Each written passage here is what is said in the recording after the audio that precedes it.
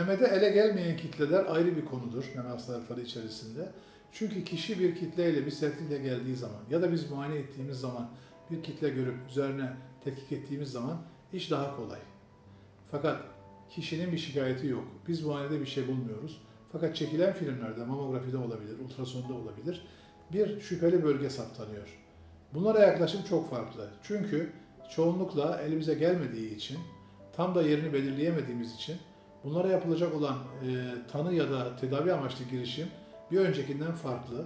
Mutlaka öncelikle o bölgenin çıkarılması lazım. Eskiden e, teknikler bu kadar gelişmemişken memede şüpheli bir bölge ve palpable değil, yani ele gelmiyor iken e, tahmini bölge çıkarılır idi ve o tahmini bölgeden tanı ve tedaviye gidilir idi.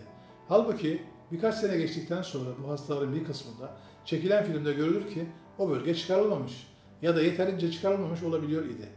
Bugün için biz telle işaretleyerek ya da bir takım başka boyalı maddelerle, radyoaktif maddelerle işaretleyerek ilgili bölgeyi garanti altına alıyoruz. Neresi olduğunu e, anlamayı ve ondan sonra ilgili bölgeyi çıkarıyoruz. Dolayısıyla memede ele gelmeyen bir olay olduğu zaman o da önemlidir. Onun da şöyle bir önemi var. Çoğunlukla çok erken aşamada bir kanseri yakalama şansımız var.